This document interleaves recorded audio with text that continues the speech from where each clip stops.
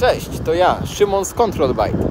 Dzisiaj wybraliśmy się do naszego partnera, czyli Odwiedziliśmy dzisiaj siedzibę firmy Finder Polska. Znajdujemy się w miejscowości Sady pod Poznaniem przy ulicy Logistycznej. Wspólnie zrealizowaliśmy już ponad 10 filmów tematycznych o sterowniku Finder Opta oraz kilka projektów automatyki. Idąc tym tropem, możecie się domyślić, że w następnym roku czeka Was kolejna dawka wspólnie realizowanych materiałów.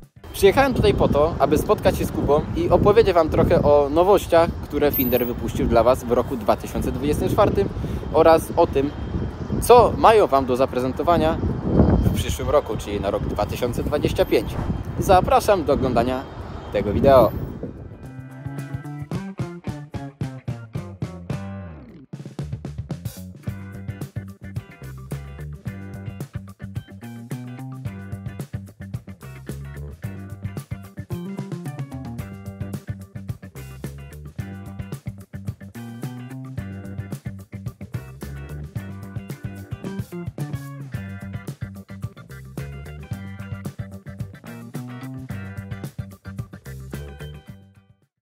Cześć, witam Was na kanale Control Byte.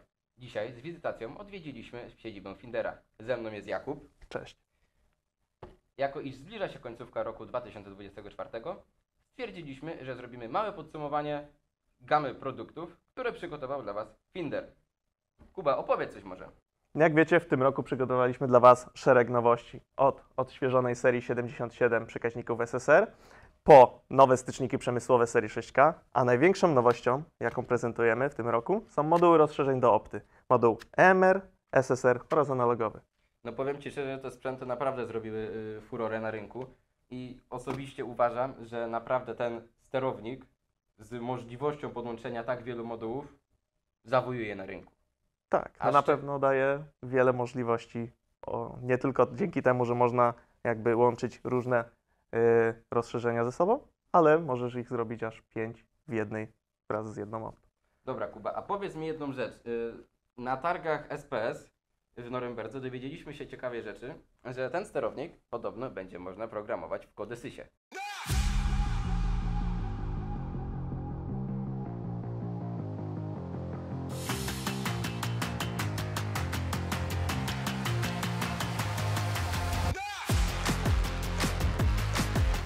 Tak, e, jak dobrze zauważyłeś, na targach w Niemczech e, zaprezentowaliśmy nowość Opta Codesys. Również będzie posiadała wszystkie wymienione rozszerzenia, ale też jako Codesys, e, a całość przy współpracy z software house'em Codesys będzie można programować w ich software'ze. No to naprawdę jest bardzo ciekawe, a mam teraz pytanie odnośnie tego sprzętu, czy my posiadając taki sterownik Finder Opta, będziemy mogli go zaktualizować, czy niestety będzie to... Nie, y, aktualizacja nie będzie dostępna. Będą to osobne gamy produktów. Będzie można kupić osobno Finder y, Opta, tak, taką jaką znacie, Mhm. ale y, będzie jako nowy produkt Finder Opta Codesys. Jest to bardzo ciekawe rozwiązanie, no bo ponieważ jak wszyscy dobrze wiemy, sprzęt do wszystkiego tak naprawdę jest do niczego, więc mi się wydaje, że super, że poszliście w tą stronę, że będą to dwa oddzielne produkty. Ktoś miłujący się w Arduino kupi Finder Optę programowaną w Arduino, a ktoś interesujący się szczególnie programowaniem standardowych sterowników PLC na pewno sięgnie po Optę programowalną w Codesysie. Tak, no y, jako firma staramy się cały czas ulepszać możliwości programowania i dostosowywać do rynku. Dlatego osoby, które dobrze mm, programują w środowisku Codesys, może nie czuły się na tyle komfortowo przechodząc na nowe środowisko, jakim jest PLC IDE lub Arduino IDE. E, dlatego też wychodzimy z pomocną dłonią i staramy się z, wprowadzić nowy produkt dla nich, żeby ułatwić im No, wprowadzanie Trzeba też wszystkich wziąć rzeczy. pod uwagę to, że no jednak Arduino to, to jest y, język podobny do C, tak? No, czyli wchodzi w grę już e, programowanie wysokopoziomowe. No i niestety nie każdy automatyk lub programista PLC będzie sobie na początku w stanie e, poradzić z takim sterownikiem. No tak jak mówisz, no plusem na pewno programowania wysokopoziomowego jest to, że nie tylko automatyk do tego e, podejdzie e, dzięki PLC IDE, czyli we wszystkich językach ladder, FBD i tak dalej, ale e, zwykły informatyk jako programista w C, C++ może sobie zaprogramować już jakieś urządzenie przemysłowe i rozwijać swoje kompetencje na rynku. Natomiast z Codesysem wiadomo, Dużo osób korzysta. Jest to bardzo popularne środowisko w przemyśle zwłaszcza. Jest bardzo szeroka gama producentów, którzy tworzą dla Codesysa pod ten software.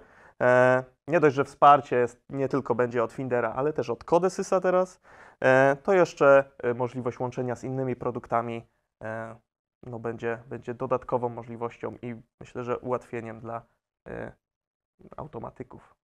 Nie tylko. Kuba, a powiedz mi proszę, bo obstawiam, że Opta i Kodesy to nie jest jedyna nowość, którą przygotowaliście, bo znając Wasze możliwości, wystrzelicie z czymś jeszcze ciekawszym. I proszę, dla nas jako dla Control Byte'u i dla naszych widzów, zdrać nam jeszcze odrobinę sekretów Waszych. Dobra, nie powiem od razu wszystkich nowości, na to A trochę, na, by na to trochę poczekacie. Natomiast e, jedną z ciekawych, rozwią- jednym z ciekawych rozwiązań dla Opty będzie dedykowany software, który połączy Ci Optę wraz z 20 licznikami energii maksymalnie, y, a w przyszłości jeszcze z y, 6M-ami, czyli analizatorami mocy. Natomiast teraz będzie dedykowany software, gdzie nie potrzebujesz być programistą i nic, tylko krok po kroku będziesz mógł łączyć optę wraz z licznikami do 20, tak jak powiedziałem, i wszystko ten software na komputer będzie Ci po, mówił krok po kroku, co zaprogramować, znaczy. Bardziej co kliknąć, y, gdzie y, dać jaki adres do danego licznika, żeby je sobie połączyć, a na końcu będzie wyświetlał Ci zużycie energii. No, powiem Ci, że ten temat również mnie bardzo zaintrygował, bo nie ukrywam, e, zajmuję się czasami też branżą właśnie, gdzie jakby składam i projektuję rozdzielnie główne na zakłady produkcyjne. No i te liczniki energii, powiem Ci szczerze, że fajny bajer. Jeszcze w połączeniu z Optą, super. No tak, teraz nie musisz być nawet automatykiem Tak, no. i programistą, żeby połączyć i skonfigurować. Wystarczy, że elektryk usiądzie, trochę Tak. poczyta poradników, tak, i sam sobie będzie na Tak. spokojnie w stanie to zrobić. Jeszcze dodatkowym e, usprawnieniem tego będzie to, że po podłączeniu pendrive'a na USB-C do opty będziesz mógł zaciągnąć aktualne dane do pliku CSV. Super. Połączenie ze SCADą? Jak najbardziej wtedy wchodzi w grę. Dokładnie A tak. jak chcesz zobaczyć, jak połączyć Finderopta ze SCADą, kliknij, powinien tu Ci się właśnie wyświetlić link i zobacz nasz ostatni film.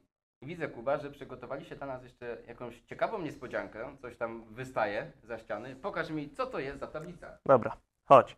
E, jak mogłeś zobaczyć już na targach e, w Warszawie, e, przygotowujemy się do cyklu szkoleń z Optą, tak zwane Opta on Tour, gdzie będziemy e, zainteresowanych e, szkolić, jak programować e, Optę w języku Arduino oraz w PLC IDE. E, tutaj możesz właśnie zobaczyć proste funkcjonowanie i podłączenie czujnika zmierzchu, podłączenie czujnika indukcyjnego i sygnalizację zadziałania oraz jak połączyć moduły analogowy, na przykład moduł EMR czy SSR i sterować PWM-em czy y, robić odczyty analogowe i nie tylko.